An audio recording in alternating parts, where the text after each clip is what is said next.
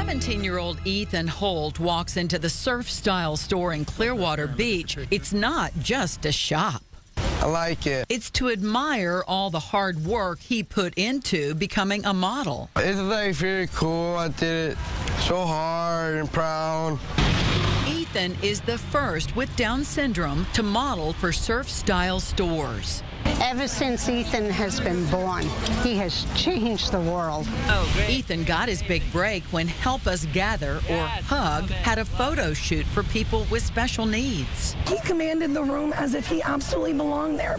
And so as he was leaving, the photographer said to us, he needs to be a model. I don't know why he's not a model yet. HUG, a grassroots nonprofit, organizes activities for individuals with disabilities. They helped Ethan get his first job with Surf Style stores. Not just here in Clearwater, it's throughout Florida, Alabama, throughout our whole area.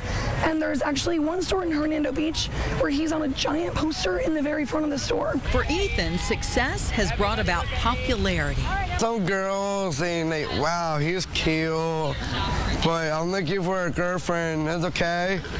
For Ashley Richmond, the lesson is simple. Your child can do everything that they want to do and achieve everything they want to achieve. All it takes is one yes.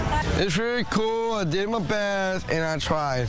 Ethan is proof that hard work and determination can lead to professional success.